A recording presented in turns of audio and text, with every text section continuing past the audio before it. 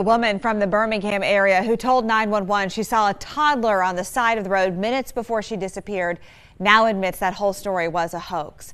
Attorneys for Carlee Russell say she made up the story of her abduction.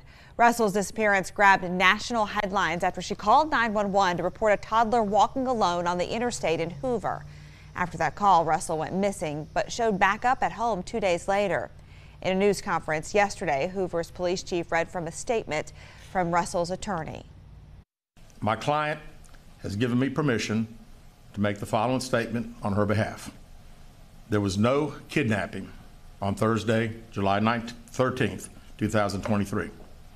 My client did not see a baby on the side of the road.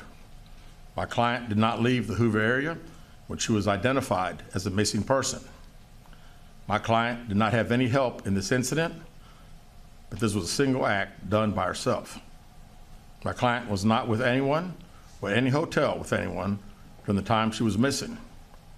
My client apologizes for her actions to this community, the volunteers who were searching for her, to the Hoover Police Department and other agencies as well, as to her friends and family.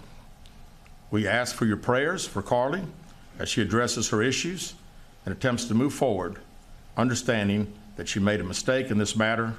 Carlee, again, ask for your forgiveness and prayers. Well, the police chief says it is too soon to tell what charges Russell could face. He says the Hoover Police Department is working on putting together a dollar figure on his department's investigation.